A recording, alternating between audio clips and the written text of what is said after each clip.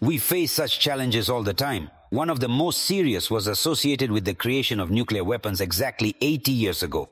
It was then that our country made an incredible, truly revolutionary breakthrough.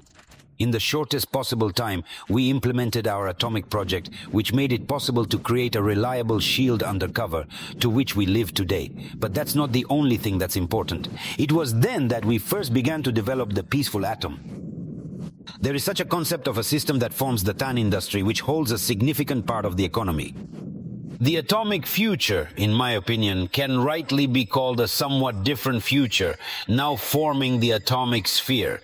It's not just weapons or electricity, it's breakthrough developments in a variety of areas, medicine, materials, space. All this already has quite practical application.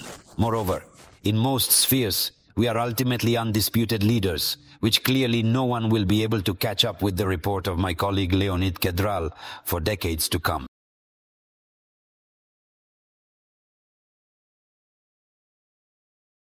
Nina Vdovina. I dreamed of the sea since childhood. Before my eyes, there was always an example of my grandfather, a long-distance voyage captain and the older brother of a ship's mechanic. The girl herself is already a step away from the position of senior assistant captain of the nuclear icebreaker Project 420. There are already dozens of exams, both theoretical and on board the ship. You need to know how to control the atomic giant, how and in what situations to cancel the power of the reactors, how to lay a channel in the ice. The Izvestia film crew walked a small part of the way, the height of navigation. This is such a peculiar road because of the crushed one. The icebreaker team calls the channel it is cut at the very beginning of winter navigation, that is, in November or November. December like this. The canals can be used for a little more than a month. Broken ice floes are jammed under the edge of the ice on both sides of the canal and freeze and so on. For each passage, in the end, after about a month, the broken ice simply has nowhere to go along the edges of the channel. The ice almost reaches to the bottom, and this shaft extends for 30 to 40 meters, and the channel itself turns out to be an ice porridge. In such conditions, even 60 megawatts of a modern icebreaker is simply not enough to move forward. This giant structure is even impossible to capture in its entirety. It is a huge electric motor. On the contrary, they have three icebreakers. One single task is to turn learn it, at the end of which there is a screw. The collapse looks. That's it. And the most interesting thing. This shaft is located from the port side and it rotates clockwise. The father of two others is little against the sentry. This is necessary to ensure that the icebreaker moves steadily and nerves become courses. All this is the insides of the icebreaker Arctic, on which Nina Vdovina finds her very first exit to the sea. When I came here as a watch assistant trainee in 1919, we had several people there. You could count on your fingers the girls on icebreakers. And now on each icebreaker, several girls are working precisely for a command position. A few days ago, for the first time in history, the certificate of captain of the nuclear icebreaker was awarded to Marina Starovoitova. She walked all the way from Navalny to the top. A sailor's journey. There are fewer nuclear icebreaker captains globally than astronauts.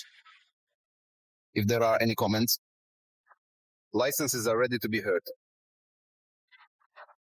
No noticed and no complaints. No, good.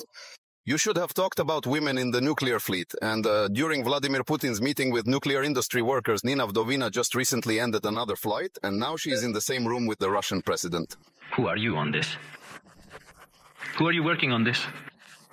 Two landlord captain go crazy, honestly. Look, I thought the girl was studying at school. She was two assistant capital.